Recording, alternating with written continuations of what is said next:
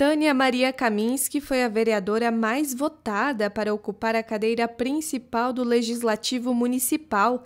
Além dela, três vereadores foram votados para fazer parte da nova mesa diretora do ano de 2023. Cristina Meira foi eleita segunda secretária, Rômulo Fagion, o primeiro secretário, e Eduardo Dalla Costa será o mais novo vice-presidente do Legislativo. Para a nova presidente, a expectativa para o próximo ano é alta. Eu quero fazer um trabalho em conjunto com todos, né, tem, sem ter essa diferença de é, oposição e base, sabe? Eu acho que a gente tem que caminhar todos juntos em prol de uma coisa que é o bem-estar da cidade de Pato Branco, que eu sempre luto e sempre quero fazer essa diferença. Claudemir Zanco, atual presidente da Câmara, fez uma avaliação de como foi o ano de 2023. É um trabalho rápido, se colocar no calendário são 10 meses.